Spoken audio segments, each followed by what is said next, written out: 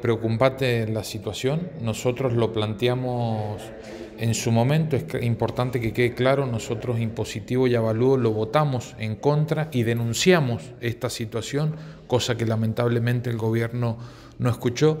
Y bueno, y lamentablemente algunos y pocos productores se están dando cuenta de esta situación que verdaderamente es un problema futuro. Este gobierno provincial contrató una empresa la cual pagó más de 730 mil dólares, los cuales tendrían que hacer un catastro, solamente una actualización del catastro rural, y que verdaderamente tenemos incluso hasta denuncias que el contrato manifestaban que tenían que ser con drones, incluso hay productores que dicen que nunca han visto en, en sus propiedades un dron haciendo esta, estas mediciones, pero bueno, la dificultad cuál es, es que han puesto una categorización de la propiedad construida han puesto un 80, que es un valor que tiene, la construcción se mide de 0 a 120, categoría 80 se le pone una casa de excelentes terminaciones y lamentablemente hoy vemos que algunos lugares puede ser un gallinero que tenga un, techo, le, le, han puesto esta categorización e incluso el año de construcción 2020, que lo que ha hecho es que la fórmula de avalúo, como se calcula con el año de construcción del 2020,